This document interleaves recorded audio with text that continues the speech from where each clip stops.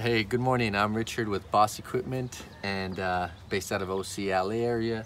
And uh, today I'm going to show you how a battery system or how the batteries work in a scissor lift. Uh, and this works from 19 foot scissor lifts to even 40 foot scissor lifts, uh, non-marking, okay?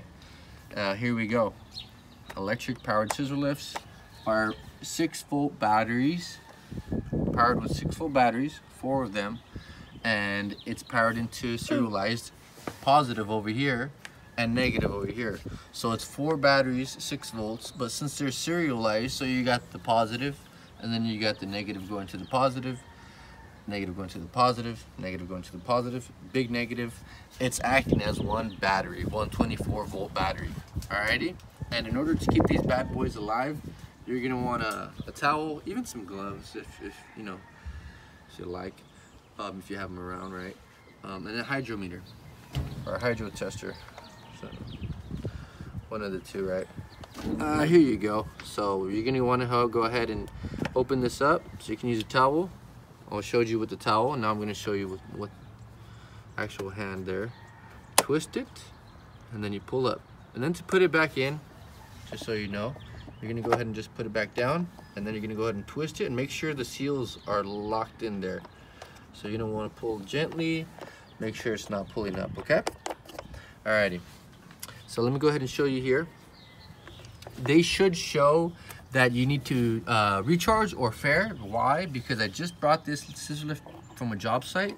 So I'm gonna go ahead and suck this out. Here, the bubble on top. Kind of like a turkey baster. You're gonna go ahead and uh, see where the needle goes. So where's that needle going? So that needle's uh, looks like it's showing uh, recharge there. So let me do that one more time here.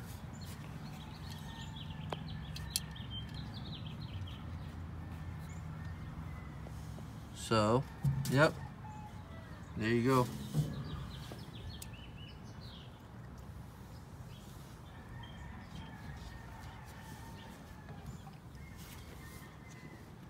Recharge, okay.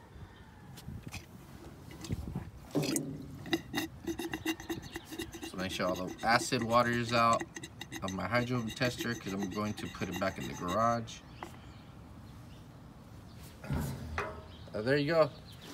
Like I've used this towel a couple times already and now you got a hole. It's acid. You don't want it on your hands. You don't want it on your clothes. So make sure you wear used clothes. Or if you're a baller like me, you can wear new clothes all the time. So, there you go. That's uh, understanding the batteries in a scissor lift. Thank you very much.